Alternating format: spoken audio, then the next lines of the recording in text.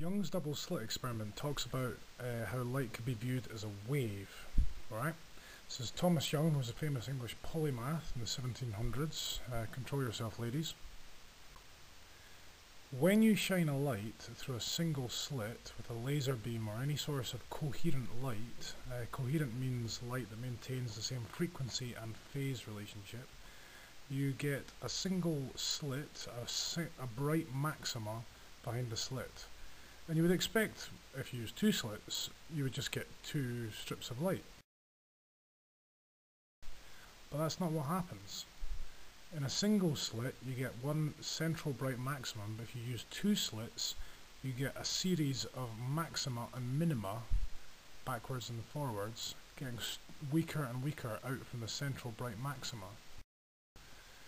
Now, how do we explain this?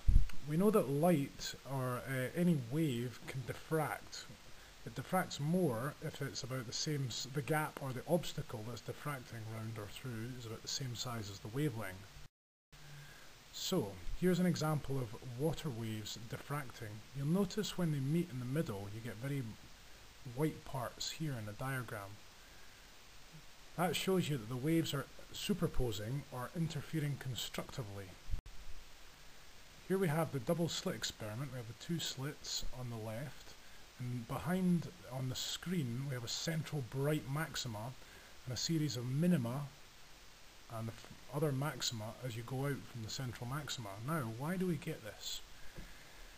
It's partly due to the path difference okay from those two slits here reaching the front there's no difference in the distance travelled between the top slit and the central maxima and the bottom slit and the central maxima. There's no path difference.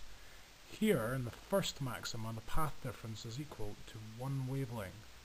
And the second maxima is equal to two. So, when the waves meet and they're in phase, they can constructively interfere with each other, which increases the amplitude of the waves. So the central bright maxima and then other maximas as we go out from the centre. And then in between we have minimas.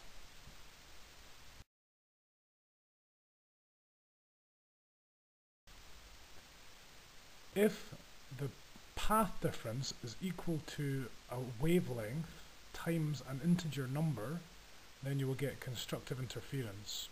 If it's equal to half a wavelength, for example, the first minima, the path difference is equal to half a wavelength. The second minima is equal to a wavelength and a half, then two and a half wavelengths, etc., etc. Then the waves will be antiphase, and you get areas of darkness.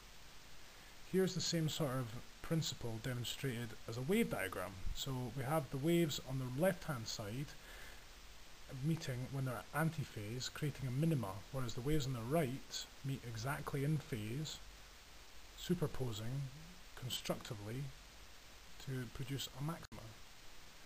Here's a link to a brilliant video about electron interference, how electrons can be thought of as a wave featuring the famous Dr. Quantum. I hope this helps you understand what's going on with the Young's double slit experiment. Thank you.